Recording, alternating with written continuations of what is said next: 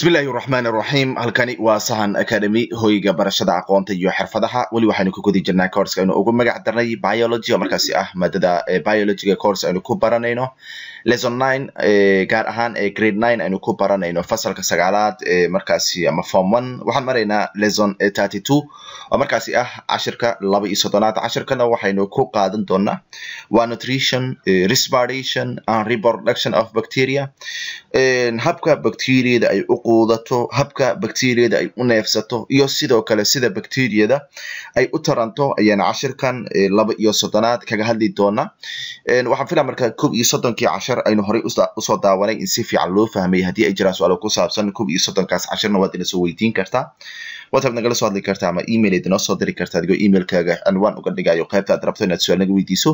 Sidoo kale waxaan filaa talooyinka aan ka jeediyay muuqaaladii hore ee markaasi kob iyo soddonka ahaa markaasi in la qaatay ama hadda kadib la qaadan doono. Taa ku saabsanayto in cilmigan waxyaabo badan oo ku saabsan in la raadiyo oo yani la qaatay ama hadda kadib markaasi la qaadan doono. Aynu gudaha ugal marka courska waa biology aynu ku baranayno grade nine ama fasalka form one lesson thirty two oo markaasi ah. Cashirka laba iyo soddonaad waxaynu ku qaadan doonaa waa nutrition of bacteria waa habka ay u quudato bacteriada sidoo kale respiration of bacteriada of bacteria habka ay u neefsato bacteriada iyo sidoo kale waxa loo yaqaana reproduction of bacteria sida markaas ay u neefsadaan bacteriada ayaan markaasi cashirkan guud ahaan uga hadlaynaa. Saddex qeyb ayuu ka kooban yahay inuu ka hormarno nutrition in bacteria sida markaasi ay u dhacdo quudashada bacteriada. Waxaa la yidhi bacteriada markaan ka hadlayno waa plural can be classified waa la abla ablayn karaa. According to iyadoo laga fiirinayo their mode of nutrition habka ay u quudanayaan iyadoo laga fiirinayo bacteriada waa la waa qeybin karaa oo waa la kala abla ablayn karaa. Waxaana loo qeybin karaa autotrophies iyo sidoo kale heterotrophis ayaa markaasi loo qeybin karaa. Mode of nutritionka habka quudashada iyagoo laga fiirinayo bacteriada waxaa loo qeybin karaa laba qeybood oo kale ah autotrophic waxawaaye mode of nutrition iyo sidoo kale heterotrophic. Autotrophic oo kale waxaa la yidhi ar bacteria waaye waa koox bacteria ah waaye that can waxa that can make kuwaasoo samaysan kara their own food.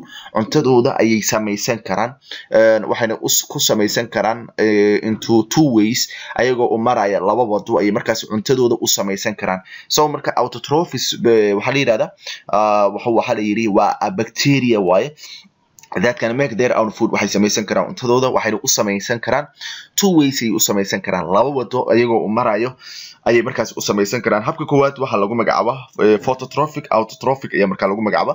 Ayagu phototrophic autotrophic bacteriada kuwa lagu magacaabo ayagu they use waxay isticmaalaan the energy ay isticmaalaan. Tamarta of sunlight ay leedahay qoraxda markaasi ama fallaaraha markaasi adceeda energyga laga helo ay isticmaalaan. Xilliga markaasi photosynthesis. Photosynthesiska ama ilays cunto ku samaysashada marka ay dhacayso ayay waxay u isticmaalaan sunlightka energyga ay ka helaan ayay isticmaalaan. For example tusaale waxa ah cyanobacteria. Cyanobacteria waxay ka mid tahay bacteriada markaasi energyga ka samaysata ilayska ee qoraxda laga helo xilliga uu dhacayo photosynthesis. So marka waa nooc ka mid ah autotrophic. Waaye nooc labaad waxaa lagu magacaaba waa chemototrophic autotrophic ayaa markaa lagu magacaaba ayagu they obtain waxay helaan energy ay helaan tamar ay helaan tamarta ay helaan chemototrophic autotrophica waxay ka helaan from inorganic molecules moleculo inorganic ah oo asalkooda shay nool aan laga keenin. Like sida waxaa ka mid ah hydrogen sulfide nitrates sulfur and iron ayay markaasi ka helaan dhammaantoodii waa inorganic waaye so marka tamar ayay ka helaan chemototrophic autotrophica kuwa ah for fixation of carbon dioxide si fixation ay ugu sameeyaan carbon dioxideka information iyo sidoo kale inay ka samaystaan. Ilan waxa waaye ay uga saaraan waaye tan hore iyo sidoo kale inay uga samaystaan carbon dioxideka food inay uga samaystaan. Such as for example waxaa tusaale u ah chemototrophic autotrophic waxaa tusaale u ah nitrosomonas bacteria markaasi lagu magacaabo. Chemototrophic autotrophic ay markaasi tusaale u tahay.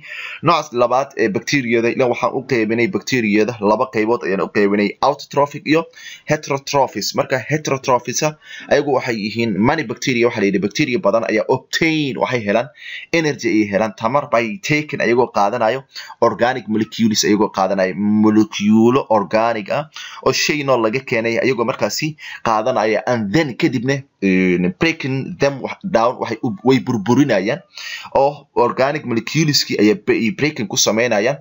Kadibna absorbing then waxay ku sameynayaan absorption. Oo nuugis ayay ku sameynayaan. Marka habkaas bacteriyada u quudata ee ah in organic molecules ay qaadato ay burburiso kadibna ay dib u nuugto habkaasi bacteriyooyinka markaasi u quuta waxaa lagu magacaabaa heterotrophis bacteria ayaa markaa lagu magacaabaa. These bacteria marka bacteriyooyin kuwan ah oo heterotrophis bacteriada ah ayagu alcooled waxaa loogu magacaabaa ama magac kalea loogu yeeraa oo ah chemotrophic ama chemotrophic ama chemotrophic heterotrophic ayaa markaas loogu yeeraa. Chemotrophic ama chemotrophic heterotrophiga waa bacteriyada organic molecules qaadata.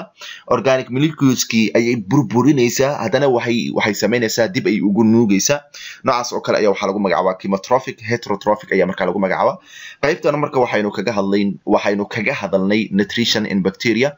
Markana waxaan aadaynaa respiration in bacteria in bacteria. Waa qaabkay u neebsato um, bacteria. Waxaa la yidhi bacteria markaan ka hadlayno ayagu can be classified waa la kala ablayn karaa. According to iyadoo laga fiirinayo their requirement waxay u baahan tahay oo oxygenta ay u baahan tahay. Iyadoo laga fiirinayo inta ay u baahan tahay ama oxygenta ay u baahan tahay iyadoo laga fiirinayo waxaa loo qaybinaya into three types ayaa loo qaybinaya saddex nooc oo markaasi kale ah obligate aerobis obligate and aerobis iyo sidoo kale facultative aerobis ayaa markaasi loo kala qaybiya aynu ku horumarno midda koowaad oo ah obligate aerobis waxaa la yidhahdaa these kuwani marka oo bacteriyada ah waxaa la yidhi require waxay u baahan a constant supply of oxygen. Um, waxay u baahan yihiin xaddi sugan oo oxygen ah. Ayay markaasi u baahan oxygenta nooca bacteriyada oxygenta markaasi ay markaasi u baahan yihiin ay constant tahay. Waxaa lagu magacaabaa waxaa loo yaqaana maxay obligate aerobis ayaa markaa loo yaqaana. Waxayna u baahan tahay oxygen markaasi constant ah oo sugan waxay u baahan tahay in the process habka markuu dhacayo respiration marka ay neefsanayso waxay u baahan tahay bacteriyadan constant supply of oxygen ay u baahan tahay waxaana lagu magacaabaa obligate aerobis ayaa markaas lagu magacaabaa. For example tusaale ahaan mycobacterium tuberculosis waxay tusaale u tahay waa bacteriyada u baahan oxygen oo markaasi yani constant u baahan marka ay bacteriyada neefsanayso. Mycobacterium tuberculosisna iyadu waxay cosis waa midda sababta tuberculosis cudurka tbda ama qaaxada. Midda sababta qaabkay u neefsato waxaa la yidhahdaa obligate aerobis waxay u baahan tahay waaye constant ama xaddi sugan oo oxygen ay u baahan tahay marka respiration ay samaynayso. Nooca labaad ee bacteriyada neefsigeeda iyadoo markaasi laga fiirinayo waxaa lagu magacaabaa obligate and aerobis ayaa markaa lagu magacaabaa kuwan marka this waxa la yidhi kuwani oo ah obligate and aerobiska iyagu do require uma baahna oxygen uma baahnaba. And may be poisoned uh, by it way wasaqayn karaan. For example tusaale waxaa markaasi tusaale ah yani kuwan oxygen uma baahna bal oxygenta bacteriyadan ayay wasaqayn kartaaba ama way sumayn kartaaba bacteria ama waxa la yidhahdo oxygen hadday bacteriyadan oo obligate and aerobiska ay ku dhacdo sun ayayba ku noqon kartaa way. For example tusaale waxaa ka mid ah waxa lagu magacaabo colstridium tetani bacteria lagu magacaabo taasoo that causes sababta tetanus sababta. So marka noocan oo nooca bacteriyada aan u baahnayn oxygen aan u baahnayn bal bacteriyada ma oxygenta u aragtaba sun iyada u aragta waxaa lagu magacaabaa obligate iyo anaerobis ayaa markaasi lagu magacaabaa waxaana tusaale ah bacteriyada lagu magacaabo clostridium tetani oo markaasi ah midda sababta ee tetanus sababta. Nooca saddexaad ee bacteriyada waxaa la yihahdaa facultative aerobis ayaa markaa lagu magacaabaa this group marka kooxan oo bacteriyada ka tirsan are those waa kuwa can survive noolaan kara with or without oxygen. Oxygen hadday helaana way noolaan karaan oxygen haddaysan helina way noolaan karaan noocan oo facultative ka. Ah for example waxaa tusaale u ah bacteria la yidhaahdo Escherichia coli bacteria la yidhaahdo kuwaasoo that are found laga helo large intestine. Mindhicirada waaweyn ayaa laga helaa noocan bacteriyada ah. Haddii ay helaan oxygen iyo haddaysan helin labaduba ma kala jecla. Haddaan si adno qaybta saddexaad waxaa la yidhi bacteria reproduction sida markaas uu dhaco reproductionka ama taranka ee bacteria.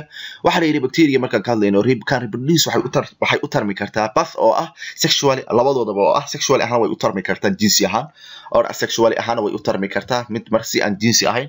Asexual reproduction haddaan ku hormarno bacteriada ku taranta sida markaasi asexualka ee aan jinsiga ahayn taranka aan jinsiga ahayn. Waxaa la yidhi bacteria markaan ka hadlayno waa koox waaye reproduce waxay u tarmaan asexual ay u tarmaan.